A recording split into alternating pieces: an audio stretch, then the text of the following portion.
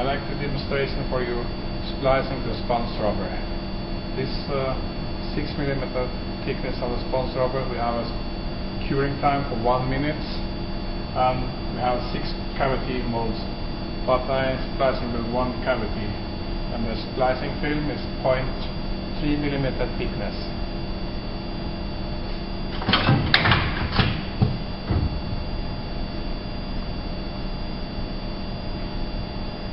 You take this film profile with a knife and take this splicing film together and the process starting.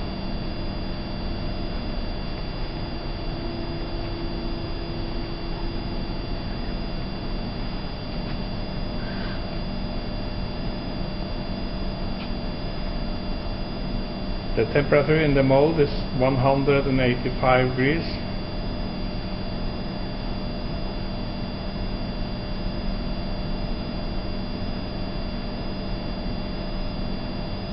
With 6 cavity mold you can splicing around 250 to 300 profile for 1 hour.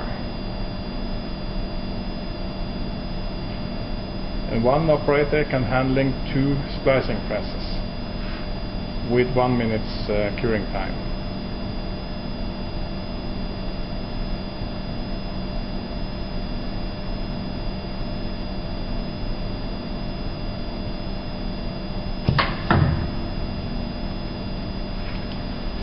You see the profile is, is that this uh, finish with uh, no trimming after splicing. And so we are ready to start with new splice.